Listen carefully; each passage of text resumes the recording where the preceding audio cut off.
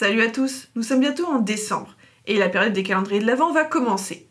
Alors je sais pas si vous connaissiez les calendriers de l'Avent jeux de société.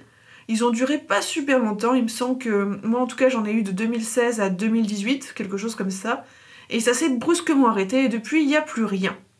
Alors euh, c'était bah, des calendriers de l'Avent, sauf qu'à chaque case en fait on avait des petits goodies pour un jeu. C'était euh, beaucoup des jeux allemands, donc beaucoup des jeux que j'avais pas du tout. Mais euh, c'est pas grave, déjà il y avait des jeux que j'avais, donc c'était cool.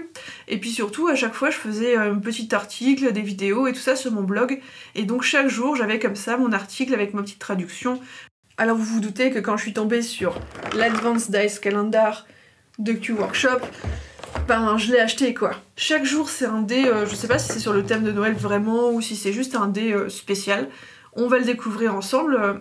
Et chaque jour, bah, du coup, j'ouvrirai une case en vidéo. Je vais faire une petite vidéo. Je la mettrai donc pas sur YouTube parce que je pense pas que ça soit très intéressant, mais euh, peut-être sur Facebook, Twitter.